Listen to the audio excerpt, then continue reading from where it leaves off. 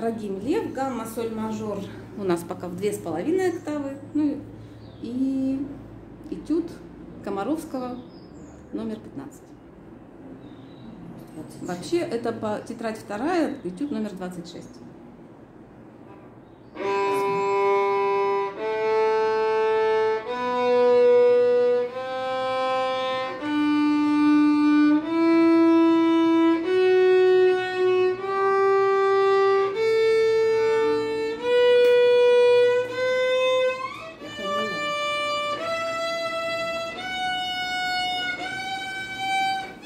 Professor Blavatsky.